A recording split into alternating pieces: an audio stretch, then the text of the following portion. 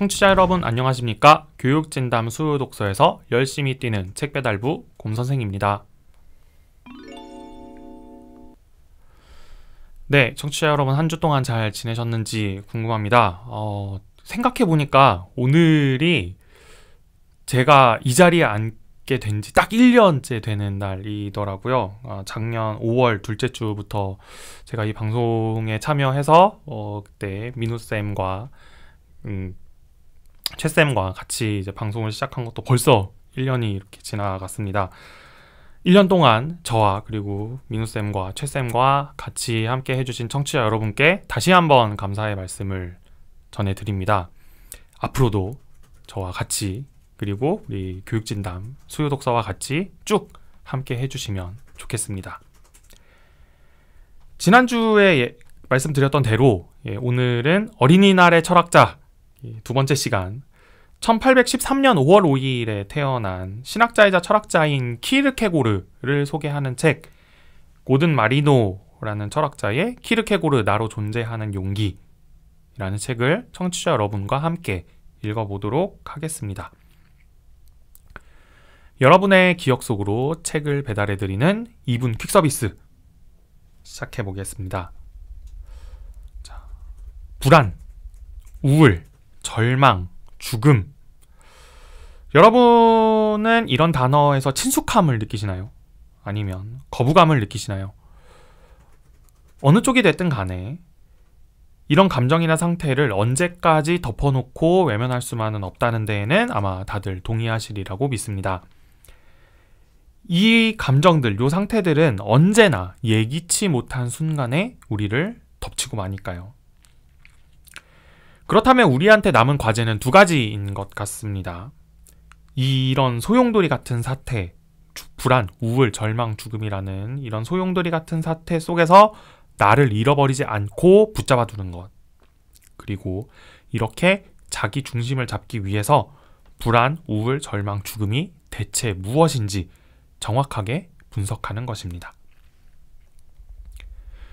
이 앞에 보시는 책, 나로 존재하는 용기라는 책의 저자 고든 마리노는 이런 무거운 개념을 가장 잘 분석한 철학자로 실존주의자들, 특히 키에르케고르를 제시합니다.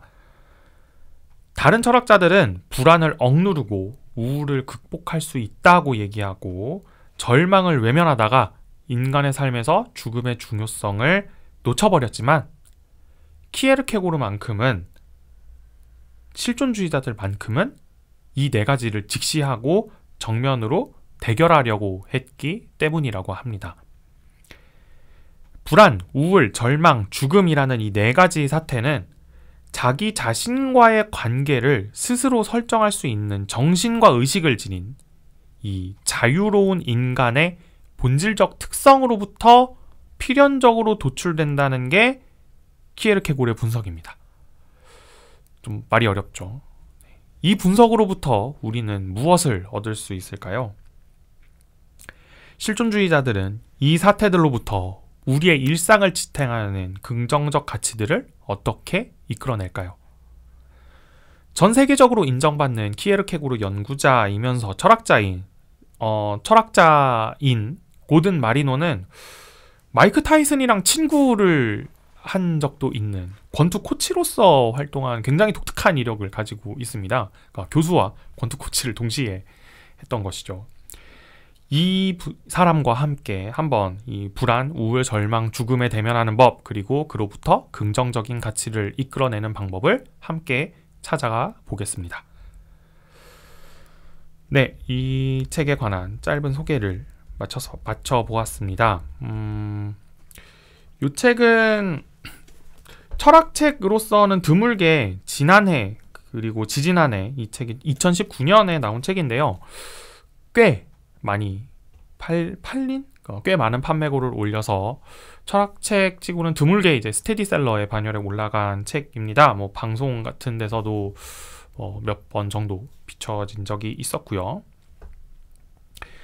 굉장히 그 지금 우리 시대 정말 특히 혼란으로 가득 찬 이 시대의 중심을 잡는 방법에 관해서 고민하시고 있다면 그리고 그 제가 이런 표현 가끔 쓰는데 이 호르몬의 폭풍이 치는 시기에 있는 친구들에게 한 번쯤 조금 진지하게 읽어볼 만한 가치가 있는 책으로 권해드리고 싶습니다.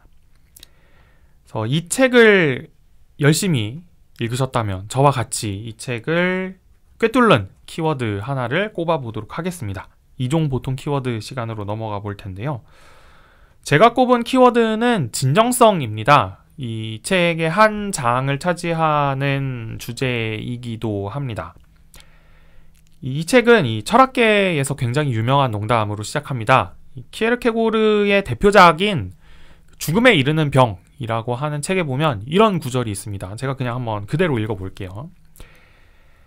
자기는 자기 자신과 관계하는 관계이며 또는 그 관계 안에서 자기 자신과 관계하는 관계이다. 이게 키에르케고르라는 사람이 나, 즉 자아라고 하는 개념에 대해서 정의하는 구절입니다. 어떤 철학자들은 이 책 안에서도 나오지만 무슨 헛소리야? 뭔 소리인지 모르겠네. 라고 허튼 소리로 취급을 합니다. 하지만 여기 안에서 굉장히 중요한 의미를 끌어낼 수 있다라고 하는 게 이 고든 마리로 라는 학자의 주장인데요. 인간은 근본적으로 두 부분으로 나눠진다라고 하는 것입니다. 요 문장을 좀 해설을 해보면 일단 한쪽에는 나의 의식 혹은 나의 정신이라고 하는 부분이 있고요. 또 나머지 한쪽에는 의식은 아니지만, 그러니까 의식에 포함되는 부분은 아니지만, 어쨌든 나의 의식과 어떤 특별한 연결고리를 가지고 있는, 하지만 우리의 의식으로는 결코 해명되지 않는 어떤 부분. 어, 사실 보통 이제 육체를 가리킬 때에 신학자들이 이런 표현을 많이 쓰는데요. 이 두 가지 사이에서 어떤 관계를 맺어야 될지 스스로 결정할 능력 혹은 스스로 결정해야 되는 운명에 처했다. 라고 하는 것이 바로 이 앞에서 말씀드렸던 문장의 의미입니다. 이런 관계 설정 상황 자체 때문에 이 양쪽이 언제든지 분리될 수 있다. 라고 하는 그 상황에서 나오는 감정이 불안이고요. 키에르케고르의 분석에 따르면요. 그리고 이 의식과 의식이 아닌 부분 중에 의식의 부분을 완전히 지워버리고 의식이 아닌 부분만 따라가는 삶. 이것이 바로 우울이라는 상태의 본질이라고 키에르케고르는 분석을 했다고 합니다. 그리고 이 관, 이렇게 관계 설정이 완전히 틀어져 있을 때 발생하는 어느 순간 찾아오는 무력감 이런 걸 절망이라고 표현을 한다고 하네요. 반면에 이 양쪽의 일치 혹은 적어도 이 둘을 일치하는 상태로 만들려고 노력하는 상태가 키에르케고르와 고든 마리노가 보았을 때 진정성 있는 혹은 진정성 있는 상태라고 합니다. 이 신체의 운동에 그냥 자신을 내맡겨 버리고 되는 대로 사는 것이 진정성이 아니고요. 올바른 관계 맺음에 대해서 고민하는 태도. 그건 나와의 관계일 수 있고, 나의 의식과의 관계일 수도 있고, 의식이 아닌 부분과의 관계일 수도 있고, 이 의식이 아닌 부분이 정말 아예 내가 아닌 부분, 즉, 세계와 어떻게 올바로 관계를 맺을 것인지 고민하는 바로 요 고민, 이 고민의 상태가 바로 진정성이라는 것입니다. 그래서 이 진정성을 통해서 옳다고 느낀 바를 바깥에 꺼내놓는 일을 나중으로 밀어놓지 않는 것. 이게 이제 키에르케고르가 얘기하는 도덕성의 의미이고요. 이런 진실한 관계 맺음이 단순히 나의 의지, 나의 노력, 나의 의지만으로 되지 않는다. 라고 하는 것을 깨달으면서 이 체험을 발판 삼아 이 세계의 거대함과 자신의 초라함을 깨닫는 것이 신앙, 본질이다. 이렇게 키에르케고르는 분석을 하고 있습니다. 그래서 이 신앙심, 진정성, 도덕성이라고 하는 요 세 가지 요소를 바탕으로 우리가 이 세계 폭풍처럼 휘몰아치고 우리를 계속해서 어딘가로 떠미는 요 세계 속에서 그나마 우리의 자리를 잡을 수 있다 혹은 잡으려고 노력하는 태도를 세계에 내비칠 수 있다라고 하는 것이 키에르케고르의 분석입니다. 그래서 이 고든 마리노라고 하는 학자가 진단하기에 우리 시대는 다른 사람들에게 내보이는 모습을 너무나도 많이 신경 쓰는 시대라고 합니다. 즉, 의식이 아닌 부분, 이게 다른 사람들에게 어떻게 비춰질까를 너무나도 많이 신경 쓰는 나머지 나의 의식 그리고 나의 의식과 의식이 아닌 부분과의 관계를 신경 쓰지 못하는 시대라는 것이죠. 또 무엇보다도 어떤 명시적이거나 암묵적인 사회적 차별 또 내 정신과 의지에 반하는 특정한 행동을 강요함으로써 진정성을 회방 놓는 요소가 된다고 고든 마리노는 분석을 하고 있습니다. 또 경건한 태도를 갖지 않으려는 나 스스로의 어떤 적극적인 나태함 네, 이런 것들이 불안, 우울, 절망의 원인이 돼서 육체와 정신 모두 죽음에 이르게 한다라고 하는 게 키에르케고르의 주요 저서 중 주요 저서 대표 저서인 이 죽음에 이르는 병이라고 하는 책의 주요 내용이라고 합니다. 그래서 이 고든 마리노라고 하는 사람은 이 나태함, 그 다른 사람에게 신경 씀, 관계 맺음을 올바른 관계 맺음을 생각하지 않음, 유이라는 이런 현대적 상태로부터 빠져나오기 위해서 우리는 다른 어떤 사람에게도 종속되지 않는 나 자신, 세계와 맺는 나만의 고유한 관계를 제대로 정립하기 위해서 노력할 필요가 있다. 라고 진단을 하고 있습니다.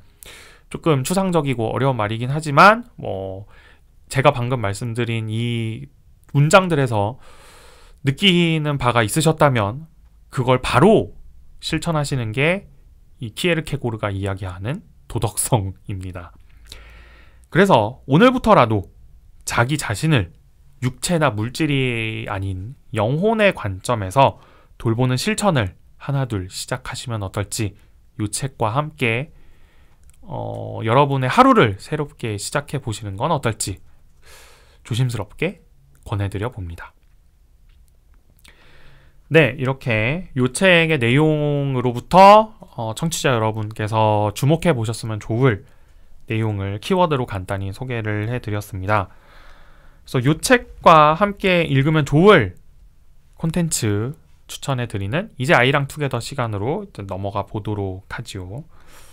제가 요 책과 함께 추천드리는 콘텐츠는 이 페터 로데라고 하는 사람이 쓴 책입니다. 키에르케고 제목은 키에르케고르 코펜하겐의 고독한 영혼이라고 하는 책이고요. 이 키에르케고르라고 하는 철학자의 삶을 다룬 짤막한 책입니다. 네, 이 책을 읽으셨다면 이 책에 나오는 이야기들이 어떤 맥락 속에서 만들어진 것인지 그 키에르케고르의 삶을 천천히 들여다보면서 심화 학습하시는 느낌으로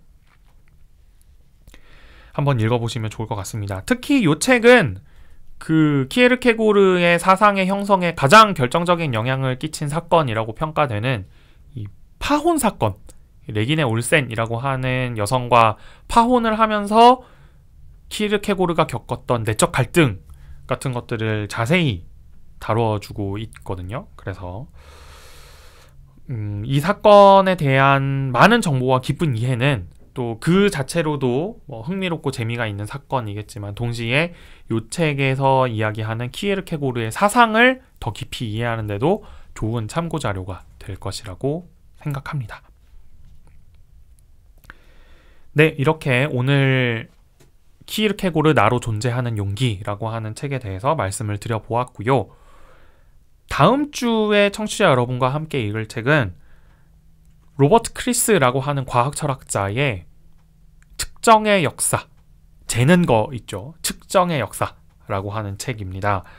우리는 이제 우리 주변에 있는 온갖 것들을 숫자로 나타내기를 좋아합니다. 그래서 심지어 지능이나 그 공부의 성과마저도 점수라고 하는 숫자로 드러내려고 하는 어떤 경향이 있죠. 심지어 감성 지능이니 뭐 지도력 지능이니 뭐 이런 것들마저도 숫자로 나타내려고 하는 그런 강한 경향을 보이는데 대체 이런 성향과 관습은 어디에서부터 온 것인지 이 다양한 분야에서 측정이라는 행위가 자리 잡게 된 역사적 맥락을 이 책을 읽어보면서 한번 살펴보도록 하겠습니다.